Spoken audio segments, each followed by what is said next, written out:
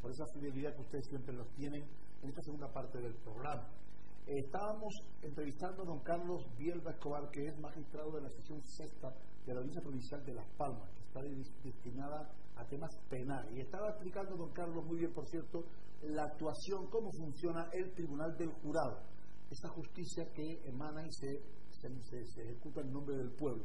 Don Carlos, y cuando, por ejemplo, en medio del, del, juicio uno de los miembros del jurado se pone enfermo, entra el suplente, pero no conoce todo lo que ha pasado anteriormente, o sí también porque ha estado allí. El suplente está todo el rato en el juicio. Todo el rato en el juicio. Sí, sí, tiene la obligación de estar en el juicio. Y, toda esta gente deja de trabajar durante todo el tiempo que dure el juicio y le paga al ministerio. Sí, correcto. ¿Cuánto le paga, don Carlos? Pues ahí sí que me, sí que me No sabe Vamos, y, y, la empresa está obligada a darle la, licencia para, para, para acudir a ese juicio. Si no cometería un delito la empresa, si no... Usted, este, porque sabe usted que cuando se implantó el jurado en España era una exigencia para ser un Estado realmente creíble desde el punto de vista. Eh, ¿Usted es partidario del jurado o más partidario de la, de la, de la justicia profesional? Claro, yo como profesional tengo que decir que soy más partidario, de la justicia profesional. Es que en ocasiones el veredicto del jurado quizá, no sé, quizá con un juez profesional hubiese sido distinto. Yo sí que lo he visto. Y lo he visto en un caso concreto de la isla de Lanzarote, pues con un juez, juez profesional hubiese sido absuelto esa persona. Sin embargo, fue condenado. Correcto. Por ejemplo, el primer jurado que se celebró en España fue el asesinato de dos Chinas por eh, parte de un miembro de ETA. yo pensé, este va a resultar absuelto porque el agente de ese jurado es del País Vasco y conoce su carrera y efectivamente resultó absuelto. El Tribunal Supremo anuló la solución, cuando fueron a buscar a Letarra, pues no, no estaba. No estaba esperando la, la China. Claro. Esto, y, para qué tipo de delitos es obligatorio juzgar con, con tribunal del jurado? Por ejemplo, asesinato, eh, amenaza condicional, omisión del deber de socorro, incendio intencionado. Pues una serie de delitos, digamos de, gran alarma social. No, no, no, no tan alarma social, incluso hay eh, delitos que son absurdos que sean por un jurado. El incendio intencionado, pues, pues no, porque hace poco se celebró, por fin se celebró el incendio este que fue del sur, que llevó muchísimos años y y porque hubo conformidades, en ese juicio hubiese sido también una locura. O las amenazas condicionales, que que eso hubiera jurado. Por fin ya la misión del deber de socorro se quitó, pero. Don Carlos, no le he preguntado a usted sobre a favor o en contra de la instrucción por los fiscales. Mójese. Yo soy juez. Claro. Y ya con eso lo digo todo. eso Nadie, nadie me ha explicado qué ventajas se obtendrían con que los fiscales llevasen la instrucción. O al revés Nadie me ha explicado por qué la instrucción en manos de los jueces de instrucción es mala. O sea, que usted es partidario de que siga como está. que la instrucción lo hagan, los jueces de instrucción. A, efectos prácticos, eh, la plantilla de fiscales es mucho menor que la plantilla de jueces. Los funcionarios que sirven en los distintos órganos de la fiscalía son menores que los funcionarios que sirven en los juzgados de instrucción. Hay una reestructuración eh, muy importante. demasiado importante. Incluso eh, ¿Estaría el fiscal acostumbrado a estar al pie del cañón todos los días? ¿Cómo están los jueces de instrucción? Yo conozco fiscales que sí que lo hacen, pero también, estando en, cuando yo salía en juego de instrucción, a mi lado no siempre estaba el ministerio fiscal preguntando al testigo, preguntando al que ahora se llama. Eh, imputado. No, investigado. Investigado. Al que antes era imputado, no, yo no lo tenía que hablar todos los días. ¿Y no es obligación tenerlo? Ah, sí. Vamos a ver, claro, es que nosotros éramos eh, tres juzgados y había uno o dos fiscales, tampoco son... No había, no había para todos. No, no, no, claro. Y a veces se les culpaba. No, es que, es que, no, no, tiene la capacidad de estar en dos sitios a la vez. Entonces, rotundamente no a esa No, no, no, no, no rotundamente no. Quiero que me lo expliquen. ¿No ha tenido usted la impresión de que le, hayan convencido con toda la cantidad de lista que se ha escrito sobre el tema? Si, si escribiéramos escrito mucho.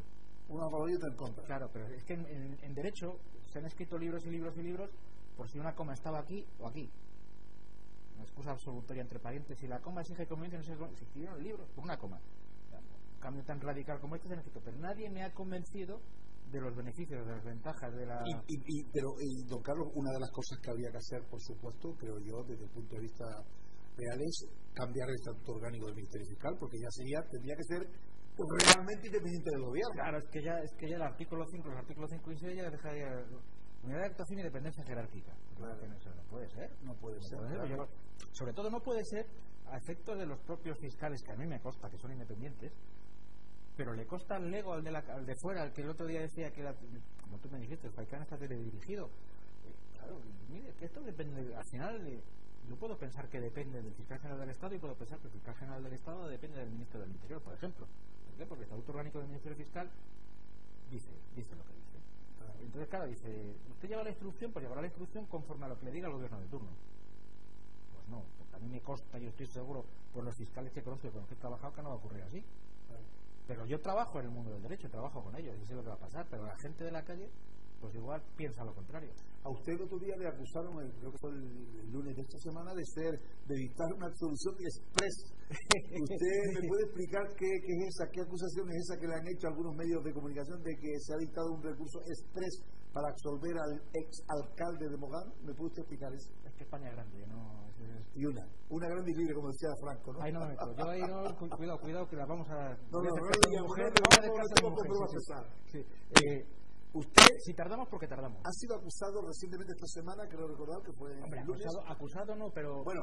Es gracioso que ponga entre comillas. absolución express del exalcalde de Mogán. Es, es que dio la casualidad que números posteriores al del rollo de apelación del exalcalde de Mogán se ha resuelto con anterioridad. Por ejemplo, si es lo que tardamos en la sección sexta, gracias a Dios, somos rápidos y buenos. Y hacemos bien nuestro trabajo. Y hacer bien nuestro trabajo es dictar las sentencias en tiempo. O sea, una de, de lo que se pide siempre es justicia, ¿no? Pues se conoce que no. ¿Y por qué? Que ahora que si somos rápidos ¿Nos puede explicar por qué el juzgado de lo condenó y usted lo absolvió? Hemos, valorado, hemos valorado sí, sí, hemos valorado distintamente, de forma distinta la prueba es que el problema es cuando mezclamos de cuestiones administrativas y cuestiones penales. En el ámbito administrativo siempre hay una multitud de leyes que al final no deja clara cuál es la norma a seguir. En el momento que ya no queda clara cuál es la norma a seguir, que es básicamente el hilo conductor de nuestra sentencia, ya la prevaricación que exige que sea una resolución manifiestamente injusta, dictada a sabiendas, que sea totalmente contraria a derecho, es muy complicado hacerlo, porque la discusión sobre el, el plazo en el que sea, si es obligatorio o no, primero, el, convocar un pleno extraordinario, que era el caso. El plazo en el que se ha de convocar o no. Pues es una cuestión que se ha de residenciar en sede administrativa, como se hizo. Ya les ha dado contencioso y dijo: Sí, mire, usted tiene la obligación de convocar el pleno. Pero para que eso sea manifiestamente injusto, que lo que te dice la jurisprudencia, lo que te exige, hay un paso más. Y en el momento que la norma es discutible, ya no puede ser manifiestamente injusto. A lo mejor usted, si hubiese absuelto a cualquier otro ciudadano del mundo mundial, no hubiese pasado, pero como era ex alcalde, el morbo diría, no, es que como era el alcalde, por eso lo absolvieron. ¿Usted pues, no pues, piensa que un poco van los tiros por ahí? Pues tiene pinta que sí. Sí, sí ¿verdad? Y era en otro procedimiento, no en el de, en el de góndola, sino en otro procedimiento. No, yo creo que no, no, no, era otro procedimiento. Otro procedimiento completamente diferente. Sí, no tiene nada que ver. De otra acusación que había. Correcto. ¿Y que se le pedían o le condenaron a cuántos años? Pues la verdad es que no recuerdo exactamente. Pero... Siete, ocho. Seis, entre seis. De inhabilitación, de inhabilitación para ser para alcalde. La prevaricación administrativa, para empleo o cargo público. Para empleo o cargo público. La prevaricación administrativa no conlleva pena de prisión la vieja atractiva del derecho penal. Siempre ustedes ustedes aplican esa máxima de que es preferible absolver a un inocente, que, o sea, mejor dicho, absolver a un culpable que, condenar a un inocente o al revés. No, es que es obligatorio. En caso de duda, hay que absolver. Por supuesto, en principio del derecho latino, indubio pro reo. Si tenemos duda, a favor del reo. Es obligatorio. Sí, sí, sí. Ahí no nos queda ninguna, ninguna duda. ¿Cuánto dice usted que quedaba para terminar el juicio de Falcán? Dos sesiones, 12, 12 y 13 de marzo. 12 y 13 de marzo. ¿Y cuántos personas no se han conformado con la pena y están todavía siendo enjuiciadas? Siete. Entre ellos, eh, como relevantes, el, el exalcalde y la exteniente de alcalde. Creo que exteniente de alcalde del Ayuntamiento de Ayuntamiento. Sí, sí. Todos los demás se han conformado con las penas, o casi todos. Sí, pues 21 de 28. Bueno, 20 de 28 y luego hubo un reconocimiento de hechos durante el juicio. Oh. fue el Y una vez que se termine ese juicio, pues se dictará sentencia por el señor Alba. Correcto. Y punto.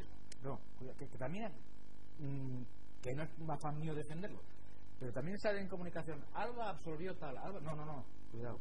Alba fue el ponente de una sentencia dictada por la sala. Que si yo firmo esa sentencia estoy de acuerdo. Si no, no está de acuerdo. Correcto, pero no, que no, que no es con, cuando se dicta una sentencia por una sentencia, una resolución, un auto, por un órgano colegiado, uno es el ponente, pero somos tres los que lo hacemos. Y esa, esas condenas eh, de conformidad, don Carlos, ya eso usted no lo puede mover. El tribunal no, puede mover ese, ese no, acuerdo. Que va, que va, que va, que va. Si, si hacemos eso, estamos contrariando el principio acusatorio. Por eso digo que ustedes no pueden tocar eso es, eso es... esa sentencia que ya el fiscal ha acordado con esos con esas personas imputadas o investigadas, ya no se lo puede mover usted. En la sentencia tiene usted que poner esa misma Claro, porque la, la, el, el, acusado, el, el, sí, porque es acusado, se ha conformado con la pena, bueno, primero con los hechos y luego con la pena. Y su abogado también ha dicho que sí, que está bien. Nosotros no, no podemos, estamos obligados a, estamos vinculados a respetar esa.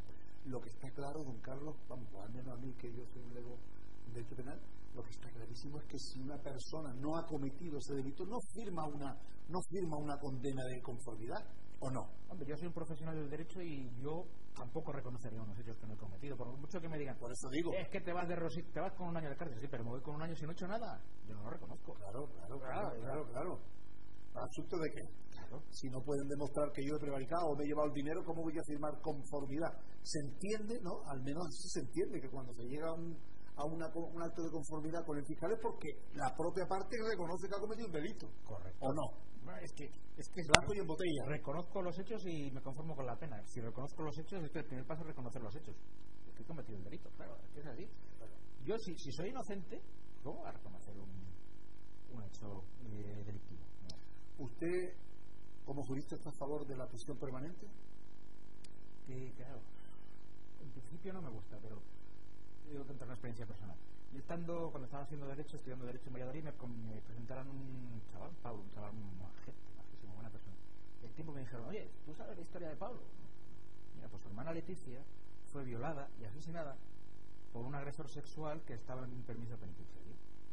Pues claro, dices, como en el lugar de mi amigo Pablo, pues yo quiero la prisión permanente revisar. No, no, no revisar una prisión permanente, que esta persona no de sí. Lo que pasa es que, claro, prisión permanente por mucho que sea revisable, está en contra de la Constitución. En principio, ¿no? Parece que claro. la Constitución que tiende a rehabilitar al, al sí, el objetivo de la pena es la rehabilitación, claro. Sí, la rehabilitación. Sí, sí que es cierto que se revisará a los 20 años, entre 18 y 20 años, sí, que ya han pasado entre 18 y 20 años, que además no va a pisar la calle. Ni puede acceder al tercer grado. Yo el otro día entrevistamos aquí hace un par de semanas a, a Ricardo Collazo, que no sé si usted habrá oído hablar de él, que es un, un, actualmente es abogado, pero que atracó a 104 bancos sí, sí. y actualmente está en libertad condicional. Uh -huh. o sea, es, se tiende a eso, a, a, a reinsertar al preso claro. en la sociedad civil.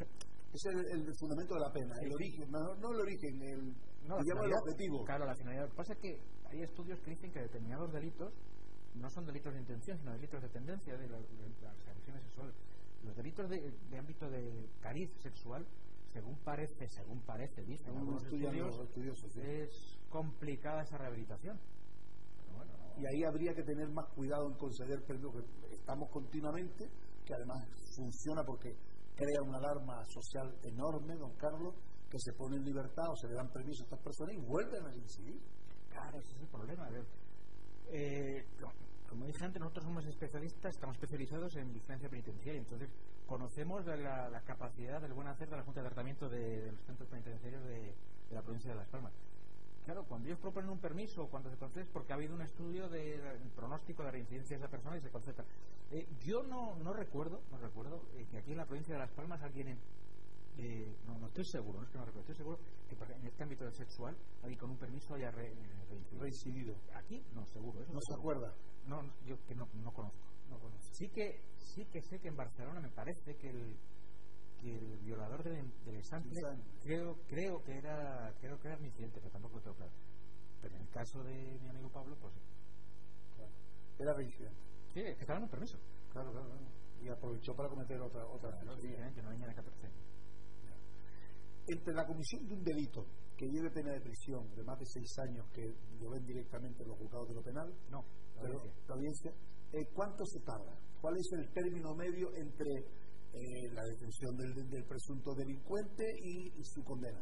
¿Qué, ¿Cuál es el plazo que tardan ustedes más o menos en, en obtener una condena? Ahora en sí, un tema normalito. En un tema normalito, tema, una salud pública, pongamos por caso, un platillo. Tema de drogas. Meses. meses en condenarlo a la audiencia. Eh, en dictar sentencia, que también absolvemos, ¿eh? Hombre, claro, lógico, claro. No hay, Sí, sí, si no hay, si no hay prueba, tiene que claro, y claro. causa con preso, todavía más rápido. Y la colaboración con los cuerpos y fuerzas de seguridad creo que es ejemplar en muchos casos. Correcto. Por ejemplo, a mí me gusta siempre, siempre decirlo, siempre me gusta alabar a la Policía Local de Las Palmas, que en materia de trapicheo, de prevención del menudeo de drogas, hace un trabajo espectacular. Muy bueno, sí, No, sí, no, lo- me impresionante. Sí, la policía local y además colabora mucho con la Guardia Civil, la Policía Claro, Nacional claro. en eso, claro. Claro, claro, claro. claro. Yo que parece que no, pero en los colegios, sobre todo, Sí, sí, sí, en zonas de sensibilidad social y tal, que es una, es una labor muy importante. O sea que el binomio colaboración, fuerzas de seguridad del Estado y ustedes funciona. Por ejemplo, en- ahora que estamos hablando del caso Faikán, nosotros hemos tenido a nuestra disposición un, un agente del Grupo Nacional de Policía para ayudarnos a la hora de, de poner las escuchas. Una maravilla, nos ha resuelto el trabajo fantásticamente. En el juicio, ¿sabes? En el juicio, correcto, sí, sí. Para poner, oye, ponme tal declaración. Claro, y sobre ya la marcha, policía, sí, sí, ha aligerado el trabajo de la sala una barbaridad. porque sabían dónde estaban las escuchas, las Ah, acusatorias, correcto, correcto, correcto. y eso, eso es como consecuencia de la colaboración. Correcto, exactamente. Y tenemos buena policía, estamos en buenas manos. Tenemos desde, el punto de vista, desde el punto de vista suyo, como, Magnífica como magistrado de lo penal. Magnífica, es que como magistrado penal y como juez instructor que fui antes, tenemos una magnífica policía. Es, es espectacular. Estamos a la, a, la, al- vamos, a la altura de cualquier policía mundial. Ya le gustaría mucho a Policía Mundial tener lo que hacen con los medios que tienen, Con los medios que tiene, con el sueldo que cobran Sí, señor. y que muchas veces hacen lo que hacen y protegen a la gente, aun en contra de la voluntad de la gente a la que protegen. Sí. Sí, yo tengo, mi yerno es Guardia Civil del Servicio de Información y me cuenta lo que hacen y es admirable el trabajo que realizan desde todos los puntos de vista, porque porque vuelvo a repetir, la gente no sabe, y a mí siempre digo, don Carlos, no sé si usted estará de acuerdo conmigo, que los jueces tienen tanta mala prensa porque no saben vender lo que hacen. El Consejo no sabe venderle a la sociedad el enorme y magnífico papel que juegan los, porque si no hubiera justicia, ¿usted se imagina este país donde no hubiese justicia? ¿Usted se imagina los atropellos que se cometerían? Aún, así se comete, la verdad es que si Y no pasa lo mismo con la policía o el Cuerpo Sí, Nacional no, de es que con la Guardia Civil, que no sabe, la sociedad no sabe el trabajo No, que realizan. porque parece que son. Yo voy a hablar de la policía, de la Guardia Civil, de, los distintos- de las distintas policías autonómicas, de las policías locales. La policía local. un labor, una labor magnífica, injustamente tratados casi siempre. Igual a, mí se me pone una multa, igual el primero que insulta soy yo. Pero bueno, pero, pero ah, somos españoles, estamos diseñados para quejarnos, es que eso también es así. Pero hacen una labor magnífica, magnífica. De permanente colaboración, con, sobre todo con los juzgados de instrucción, me imagino, ¿no? Claro, por supuesto, la, la labor, la, la- El día a día. El día a día, es el claro, bueno, a mí Y luego también eh, algunas veces, algunas veces, los cuerpos de seguridad, algunos miembros de ella, claro está, no todos, por supuesto, estaría bueno, se quejan a veces dependiendo del juez, de que algunos autorizan más escuchas, autorizan más pruebas Sí, que otros, pero eso- depende de la visión personal, Claro, claro. eso, eso ocurre, es que es, es así. Hay Eso jueces, sí. hay jueces sea, por ejemplo, una escucha telefónica a un presunto No, ahora, narcotraficante. ahora, ahora ha cambiado bastante porque ahora ya está bastante, bastante Tasado. tasado por parte del Tribunal Supremo los requisitos que debe tener. Antes sí que había. No, bueno, es un hecho. Había jueces, o incluso yo podría ser un juez que fuese más alegre a la hora de conceder unas escuchas telefónicas, autorizar unas escuchas telefónicas, una entrada de registro. Ahora está tan tasado que la alegría pues se ha perdido, por así decirlo. Ya no, sí que es cierto que siempre se ha rumoreado, siempre estaba No, porque es que la policía elige al juez. No, no, no se elige. En unas normas de reparto y en unos días concretos. Un sorteo y punto. ¿eh? No, no, toca, no, toca. no es ni sorteo, es que eh, estás de guardia un día y al día siguiente no está. Pues si entra ese día que toca ese día. Y si los hechos se cometen en un día concreto, las normas de reparto generalmente te dicen que corresponde a la instrucción que estuviese de guardia en aquel día. Claro. O sea, que eso no se puede manipular de ninguna forma. Hombre, echa la ley, echa la trampa y España es el país de la picaresca, pero que es complicado. Claro, complicado. Sí, porque muchas veces se acusa, se acusan determinados juicios, sobre todo por determinados poderes fácticos, jurídicos, de que, bueno, es que este puso la denuncia porque sabía que Pepito Pérez estaba de guardia. Claro, es que, es que siempre es bonito sembrar dudas antes del juicio por si acaso. Y eso además también tiene rédito, claro, desde el punto de vista de- del que acusa. Por supuesto, por supuesto. Llevar la duda a los jueces. ¿no? Sí, sí, sí, sí. No, me cayó en este juzgado para que lo estudiara porque es amigo de Pepito y amigo de pero, tal. pero incluso ya, aunque fuese así, pongamos por caso que la policía y la Guardia Civil eligen al juzgado. Hecho No, no, no, digo los particulares, No, pues, para, interponer querella. Bueno, da igual, pero interponga. El particular interponga la querella como quiera, es que da igual. Dice el Tribunal Supremo, usted interponga donde le dé la gana, que como el juez de instrucción tiene capacidad de competencia, no hay ninguna causa de nulidad. No hay ningún problema. Elige a usted que quiera. ¿Te refieres que se puede presentar dependiendo de quién? O sea, tú puedes elegir el día que quieres presentar la, la querella Claro, claro, para sí, que sí. caiga un determinado juez de guardia. No, pero no, es que las querellas van a reparto, entonces tampoco es muy com- Las querellas se Que van a repartir. Claro, hablo, hablo de oídas cuando yo era eh, juez de instrucción en Fuerteventura. Pero me imagino que Las Palmas, en cualquier partido judicial, las querellas van a reparto. Porque es una querella, es un acto de parte. Ya. Cuestión distinta es un robo que se comete en un día concreto y le piden al delincuente, al presunto delincuente ese día. Pues va al juzgado de instrucción que estuviese de guardia. Pero las querellas, ¿Y usted está de acuerdo con. ¿Han dado resultados eh, suficientes, don Carlos, en los juicios rápidos? Que usted que se ha revisado mucho la justicia penal. Muchísimo, ¿Eh? muchísimo, Le quitan a la audiencia tener muchos muchos juicios que antes se veían para, no, pero ya, ya, no, incluso es que incluso para el delincuente, para el delincuente, para, para el perjudicado, para la víctima, es, es, más rápido. Puede incluso que no llegue ni a juicio, que la instrucción se conforme. Eh, la víctima no tiene que ir a juicio, el perjudicado no tiene que ir a juicio el delincuente que ha reconocido los hechos, que también tiene derecho, por así decirlo, a, beneficiarse, se beneficia con una reducción de un tercio. Y en estamos en el juzgado de lo penal, pues ya va, pero ya ya la, se, ha, se, ha, limitado bastante el número de juicios con el juzgado de lo penal. Por supuesto, los que van a la claro. Pero los juicios rápidos han, dado un buen resultado. Sí, ha agilizado mucho la justicia sobre todo el menudeo, la residencia. Antes que un tío robaba 40, 40 radios de coche y se veía al tío al no, de la calle. Claro, es que, claro, es que, Con eso se ha acabado, ¿no? El problema también era la. Y eso sí que lo he visto yo, cuando estaba en un jugador penal, que tío había acabado de ser condenado en el juzgado número 2 y venía. O en el número 1, yo no estaba en el 2, yo me acuerdo en el juzgado penal. Vamos, que estaba en el 2. Pues acaba de ser condenado el jugador penal número 1 y venía mi juzgado y yo lo condenaba. Pero yo no sabía que acababa de ser condenado. Claro, la nota, la nota de condena se pone después. Después, claro. Y los antecedentes penales saltan después. Entonces ya con los juicios rápidos se va consiguiendo. Además también se agiliza la ejecutoria, porque si yo me conformo en el juicio rápido sobre la marcha, o te deniego la suspensión de la ejecución, es decir, que no ingreses a prisión, o te la concedo para que, al revés, para que ingreses o no ingreses. Y la ejecutoria, ya, en vez de tardar cuatro o cinco meses, en cuatro o cinco horas está cobrado. Don Carlos, hay otro tema que a mí no me gustaría terminar el programa, son ya las 10 las 17 minutos de la noche de hoy después de 8 en televisión el tiempo vuela, sí. Nos quedan prácticamente 20 minutos y no quiero acabar el programa sin preguntarle por una cosa que, que ha generado muchísima alarma social, muchísima pena, muchísimas eh, hojas y páginas y páginas de periódicos, los casos Jeremy y Sara. Parece ser que el, la investigación del caso, creo que es el de Jeremy, del sur de la isla ha sido archivado provisionalmente.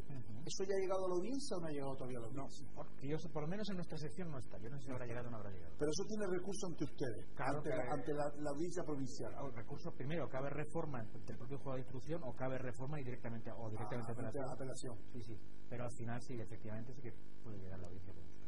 Y ahí ¿qué pasa? Debe ser que el juez no ve ningún tipo de, de, prueba contundente para acusar a los posibles presuntos que habían. Cuando, cuando un juez sobresee es porque no ve pruebas. No, porque no, el sobreseimiento es provisional, claro. Claro, porque puede. Si mañana vamos a hablar, en centro de instrucción no vamos a hablar de pruebas, sino de indicios. Porque no ve indicios para acusar a una determinada persona como autor de un delito. No, no, no, no sobresee porque, que como dice juez voy a sobreseer. No. Busca ese indicios continúa adelante, pero si no hay indicios, ¿cuál es la obligación del juez de instrucción? Sobreseer, es que no cabe otra. Y, y ese sobreseimiento provisional está abierto siempre o lleva un año en los delitos prescriben. Claro, por ejemplo, en este caso, pongamos. Eh, eh, por ejemplo, supongamos que es secuestro y asesinato. Eh, ¿Cuántos años está para que 20 años. Sí. Una vez que pase 20 años, ya, si aparece el criminal, ya no se puede Ahí nosotros tuvimos una. Hablando de prescripción, que está buenísima, porque yo he sido testigo de una resurrección. De una resurrección. Sí, sí, sí, sí, sí, muy bueno. Estamos, estaba, en la sección primera en ese que nos estamos a punto ya de irnos, nos llaman, mire, que llaman de una comisaría de Madrid que tienen aquí una señora que le ha pegado a su marido. Lo siento por ella, está, pero no, no nos incumbe. No, no, es que dice más cosas. Digo, pues venga, cuente, cuente. Que es que esta señora eh, aportó un certificado falso de función en la Embajada Española de Colombia de su marido. Pero su marido está tan vivo que le acaba de pegar. Un un certificado de función en la Embajada de Colombia como que se había muerto su. Efectivamente. Sin embargo, la acaba de pegar, ¿cómo es eso? Claro, porque había un alguien en la Embajada Española de Colombia que habían untado para que anotase la defunción en Colombia sin mandarla al registro civil central. Habían pagado a, un funcionario corrupto colombiano. Y, bueno, o español. O español. Porque no se identificó. Pero en cualquier caso. No, pues si en Colombia, si la Embajada colombiana, en Colombia sería colombiano, ¿no? Pero es español. Embajada española en Bogotá. Ah, embajada española en Bogotá. Ah, en Bogotá, en Bogotá. Ahora lo entendí. Vale. Pues se anotó en el, registro, en el registro consular, pero no se mandó al registro civil central. Y el tío seguía vivito y coleando. Con tan mala suerte que nosotros teníamos un, un procedimiento sobreseído provisionalmente al que le acusaban de 10 años de, le pedían 10 años de prisión por tráfico de drogas que todavía no había prescrito. y lo trincaron por ahí. Lo trincaron por ahí y vino a nuestra sala y es un caso claro de resucitación. De del muerto, ¿no? Sí, sí, sí. sí. Eso no además- no se puede dar habitualmente, ¿no? No, hombre, no, no, resucitación está por la segunda, la primera fue la de Jesucristo. Y además, luego, luego el, el, el, el sujeto este, que aparte que es tonto, se conformó con la pena. Hombre, claro. Se llevó, me parece que fueron siete años. Sí. Y, eh, eh, por ejemplo, en este tipo de. Ustedes mm, tienen, por supuesto, en materia de competencias, tienen determinados ciertos delitos. Por ejemplo, eh, cuando oímos en los periódicos, eh, cogido un barco en alta mar por, los por la Agencia Tributaria y cogido 40, 40 kilos de heroína. Eso va a la Audiencia Nacional. Sí, porque está en alta mar. Está en alta mar. Sí, eh, va a la Audiencia Nacional, como no se sabe, en principio no se sabe cuál es el destino, y cuando puede afectar al territorio del más de una audiencia, como sería este caso, siempre se cojan a los territorios españoles o con destino a España, la competencia Va a la Audiencia Nacional. Sin embargo, si, si el alijo o el problema se, se, se detecta aquí, la competencia es de ustedes, Correcto, sí. de la Audiencia Provincial. sí, sí. Han bajado mucho los, los, los delitos de droga, y sobre todo de grandes alijos. Grandes alijos eh, sí que han bajado, pero... Pero se siguen produciendo. Los Delitos, sí, pero delitos contra la salud pública, cada vez que tenemos sesiones de juicio, casi siempre hay. En la- uno por semana. se sigue la droga sigue Uno por semana por nuestras calles. Sí, sí, sí. sí. Y ustedes son ahí duros con, con ese tema. Bueno, Sí, hay pruebas, sí, claro. Sí, sí, si hay pruebas, evidentemente. Normalmente es que se consigue ese tipo de pruebas a través de, de escuchas telefónicas o de, Sí, o de observación. Sí, claro, es, es un procedimiento que que lleva, conlleva sus los seguimientos por parte de la policía, escuchas más o menos largas, pero además Horas y horas de escuchas. Claro, generalmente no son dos los que, sino son varias las personas implicadas. Es un procedimiento complejo. Pero ustedes ahí son inflexibles. Si hay pruebas, Sí, prueba- bueno, sí.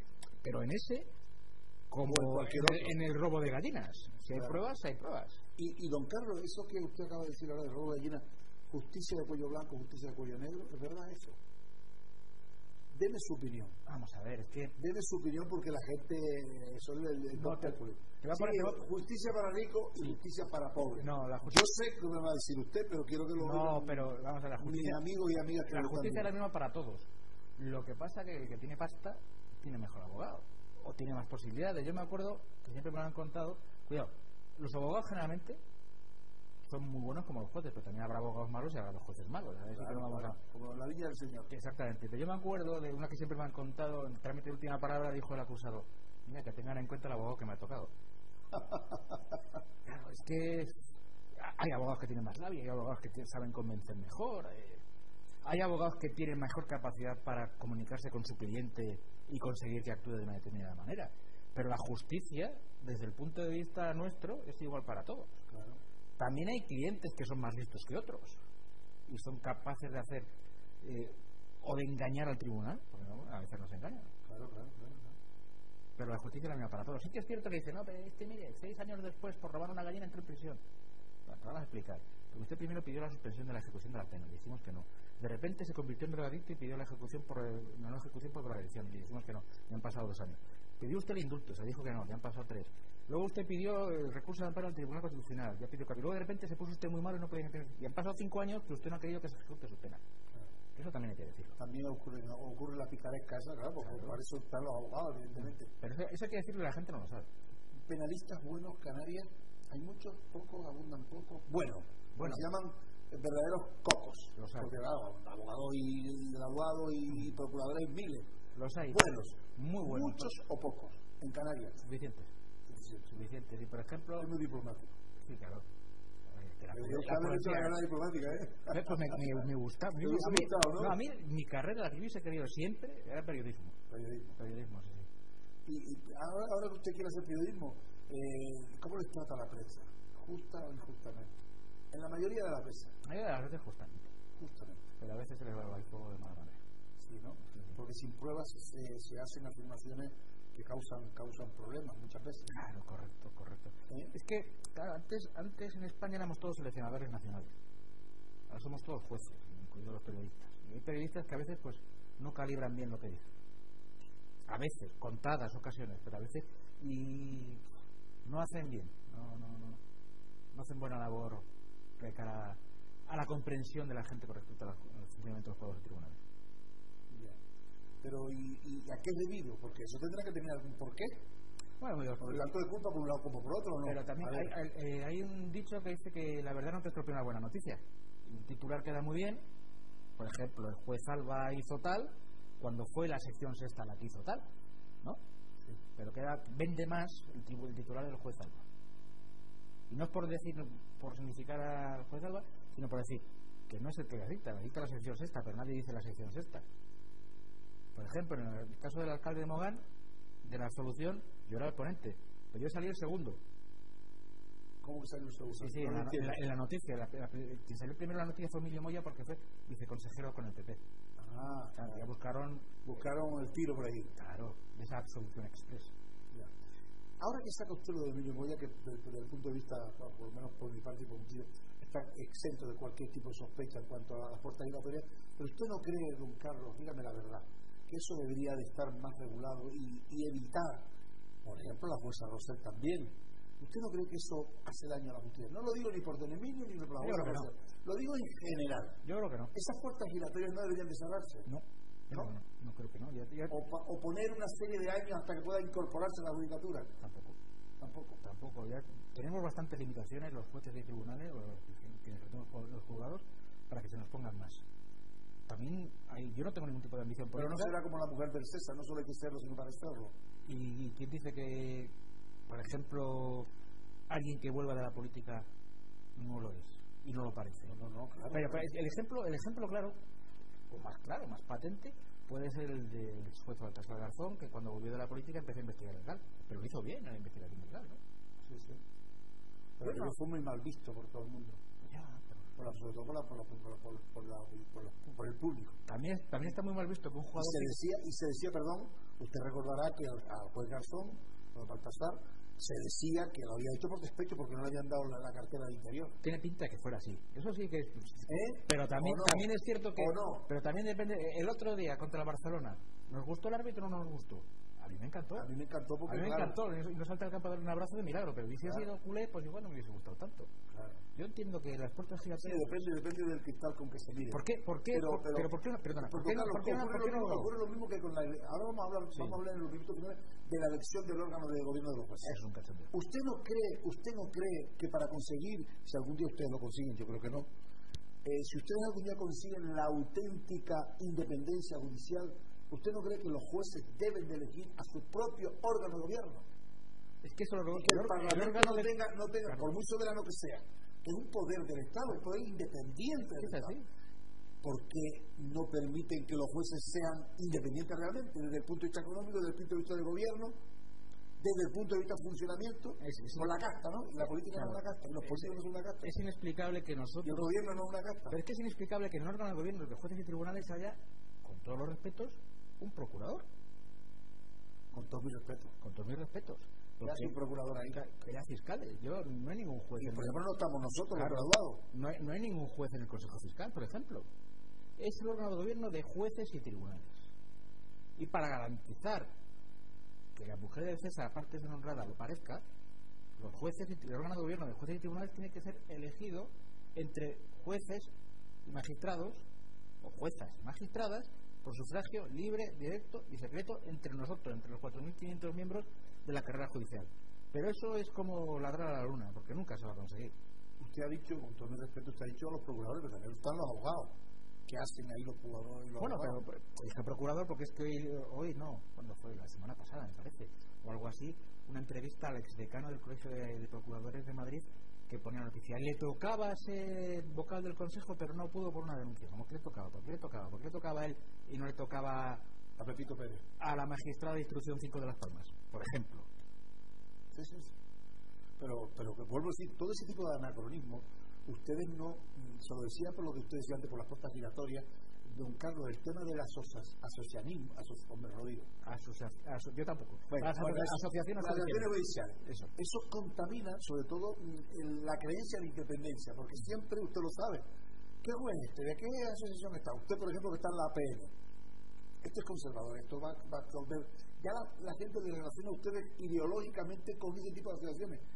Yo, con todo mi respeto, con todo mi respeto, para conseguir también la independencia absoluta desde el punto de vista eliminaría las asociaciones judiciales. No, yo no, no, no porque es que hay, que dar cabida a las distintas ideologías, sensibilidades.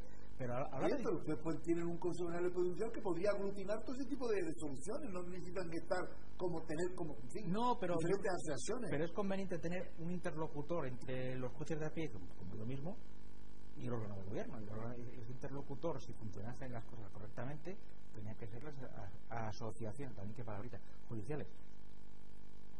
con sus distintas ideologías y distintas formas de entender el derecho, pero al final a la hora de aplicar la ley aplicamos la misma. Ya, ya lo sé. Pero usted no cree que todo esto es un revolutum, las puertas giratorias, el tema de la elección, de la elección por el Parlamento de los jueces, las elecciones, todo eso, todo eso ha erosionado la real creencia de la independencia judicial. Eso la erosiona muy gravemente. Todos sabemos que la, los jueces son independientes. la, elección, la, elección de, la, elección de, la forma de elección del Consejo General del Poder Judicial es evidente que garantiza cualquier cosa menos la independencia judicial. Pero las puertas giratorias, por otro lado, aparte es un, tema tan, tan nimio. Se ven con los nombramientos, don Carlos. Sí, sí, bueno. Usted lo sabe. Sí. Usted lo sabe que el Consejo General de Judicial, cuando nombra magistrado Supremo, trata si, la, si la, la, lo, el Consejo de Orientación Conservadora, como en la actualidad, los jueces que entran casi todos, o los, posibles más son de orientación conservadora. Es así. pero tal con, las, con las reglas de la mayoría que están ahora implantadas, es más complicado que antes. Bueno, bien. Sí, pero bueno, pero, pero se trasluce, sí, efectivamente, pero porque si los eligiésemos entre nosotros, mira, es que eligen a tal que sí, pero mira, es que a este que tú estás diciendo que ha actuado mal al nombrar a este magistrado, lo elegiste tú. O sea, no te quejes, porque es tu elección. Entre cinco años eliges a otro. Pero, pero te equivocas tú, se equivocan los jueces. Claro, correcto, correcto, me equivoco yo. Es que, es que, pero está muy bien visto que el poder judicial esté debajo o a expensas de lo que decía el poder ejecutivo que ya no ni el legislativo, porque al final en España el que manda es el Poder Ejecutivo. ¿Por qué todo el mundo piensa que los fiscales generales están a disposición del gobierno? Están, vamos, a lo que dicta el gobierno. Eso no es así, pero todo el mundo lo piensa. Porque hay manifestaciones de los políticos que no, no ayudan. Hay ministros que dicen, ya daré instrucciones al fiscal general del Estado para que haga tal hay políticos que no dudan en decir, no, ya estoy hablando con magistrado del Tribunal Constitucional, aunque el Tribunal Constitucional no forma parte del organigrama del Poder Judicial, pero he hablado con magistrado del Tribunal Constitucional y he hablado con magistrado supremo. Pero vamos a ver, ¿tú quién eres? Con todos los respetos, para intentar influir en el sentido de la decisión de un magistrado. Claro, no es nada, pero, pero, pero se lleva a la creencia y eso erosiona mucho el prestigio de ustedes y, la creencia de que son realmente independientes. Y de cara a la gente es evidente que eso es un daño tú, tú independiente, tú hacer lo que te dicen. Es un daño a la inmensa mayoría de los jueces que son gente honesta, que son gente imparcial, que son gente que solo, solo se guía por la ley, y que son gente que trabaja día y noche para hacer justicia de este país, pero desgraciadamente la opinión pública sí. lo vilipendia por ese tipo de cuestiones, porque son, son chinitas, don Carlos, que la rueda al final hacen daño. Y aparte, y, sobre todo que también nosotros nos vendemos muy mal. aparte, los eh, jueces, y magistrados, jueces y magistrados somos muy poco corporativos, casi nos pegamos zancadillas, parecemos Sergio Ramos a la hora de hablar con nosotros. Y, nos vendemos muy, muy, muy, mal, muy mal. Eso es verdad. También pasa con los fiscales, eso hay que, hay que seguirlo diciendo, yo lo digo siempre que tengo la oportunidad. Pero, don Carlos, ¿sabe usted que hemos llegado al final de nuestro programa? Que son las 10 y 25 de la noche de hoy, 8 de marzo de 2018. Ya se nos ha pasado, hemos estado hablando casi hoy y medio. Solo que era mucho. Quería aclarar una cosa, que lo de las llamadas es una voz a la prudencia que me aconsejó mi mujer. Claro. Porque si no me vengo arriba. No, lo hace usted muy bien. Usted sabe que usted ahora mismo es una persona pública, que lo conoce muchísima gente, que usted ha estado recientemente, como se suele decir, en los periódicos todos los días junto al señor Alba y claro, si abrimos los micrófonos, alguno, alguno posiblemente tendría la tentación, aunque nosotros filtramos aquí para llamadas.